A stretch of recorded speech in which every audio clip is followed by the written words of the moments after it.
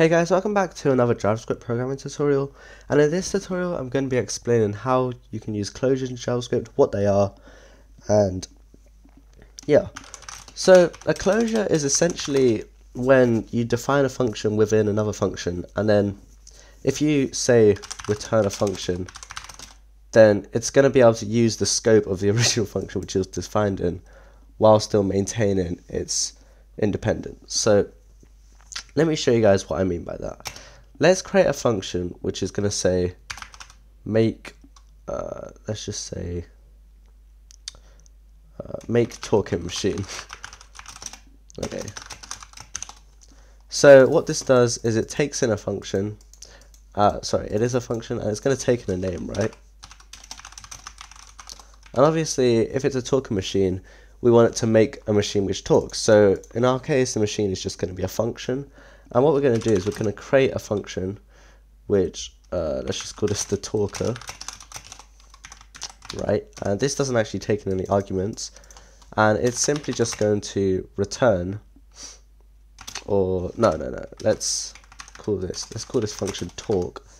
And yeah, what this is going to do is it's just going to console.log hello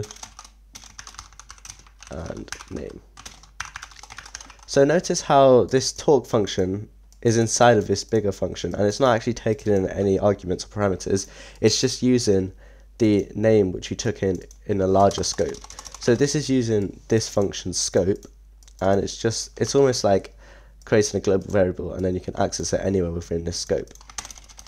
Now the interesting thing about closures is that let's say I return this talk function. So if we manage to access something like let's call this a talker and it is make talker machine let's put the name as aria. So this talker is a function right? And it's essentially just this function. But notice how if we're running this function we wouldn't expect it to be able to use this name variable because this was declared within this scope only. But the thing is if we call this function, right, if we call this function, then it's actually going to be able to access this variable name, which we defined in here. So how is that? Because you think that this function is now almost outside of this scope, right? We're calling it in the global scope where it no longer has access to the name variables, so it doesn't know where it is. But that's the thing about JavaScript closures, is if you return a function within another function, it's still going to be able to access all the variables which this function actually should use. So for example, if we declare another variable up here, let's just say uh, ending, let's just make this bye bye. This is declared in this function scope and we're going to be able to access it within this sub function while we're inside this function.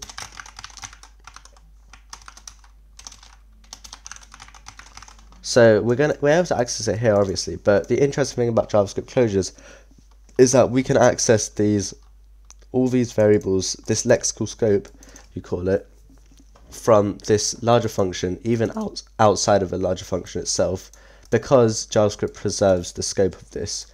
So if I call this, you can see we're still able to access this variable even when we weren't actually using it we weren't actually meant to have access to it here. Like if we try and access ending over here, you're going to see there's nothing here. It's not going to find it because ending's defined in this scope.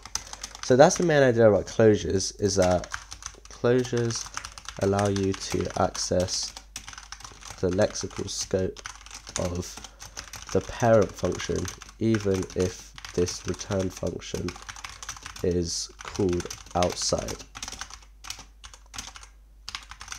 parent function.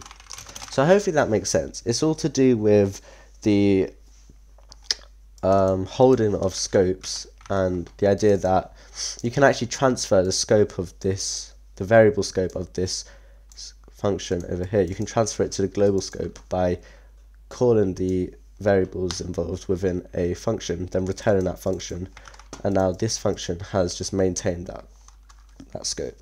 Another thing is that if we have another talker these are going to have individual scopes. So if this is a different one, then calling this is just going to have a completely different scope. So it's basically duplicated this function's, this parent function's lexical scope. And you can see that because we've accessed two different variables, even though it's the same variable technically, but it's been duplicated. So hopefully that made sense. See you guys in a future tutorial. And yeah, closures are basically just the act of this function accessing the large scope. So yeah, see you guys in a future tutorial and bye.